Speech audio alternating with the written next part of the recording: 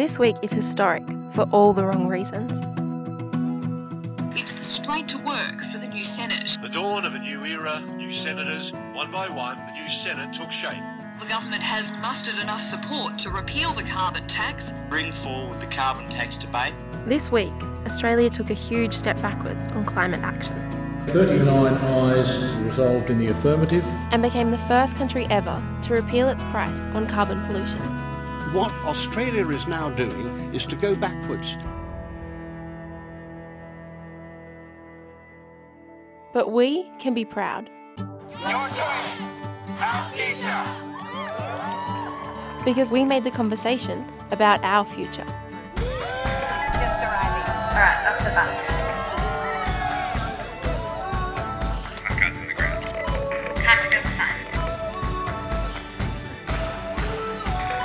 So that's a mic check, okay?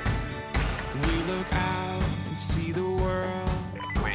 It takes everything we have to We've got face 23 it. now. The senators are arriving. Senator Urquhart, Senator Sterling, Natale, Gallacher, Mark Butler, Penny Wright, Senator Hanson-Young, Adam Bandt, Larissa Waters, Senator Moore, Ludwig, Rhiannon O'Neill, and we have Senator Whish-Wilson.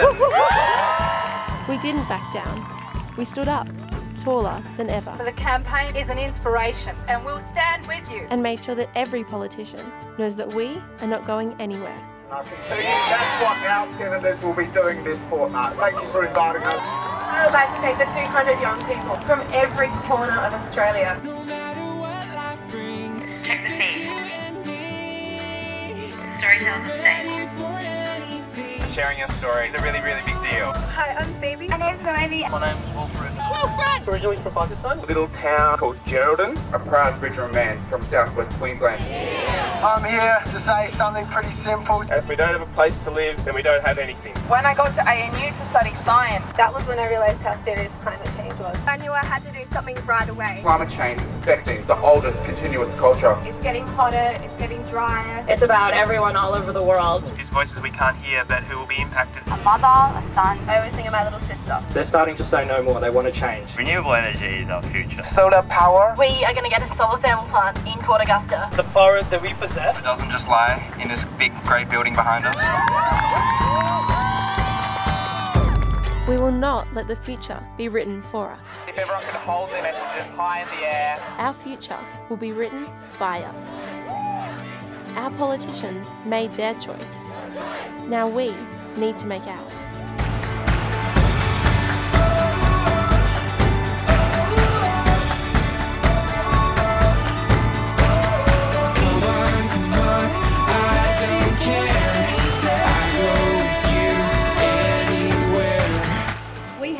Opportunity to meet with The Australian Youth Climate Coalition. who want us to act. They said it was their future.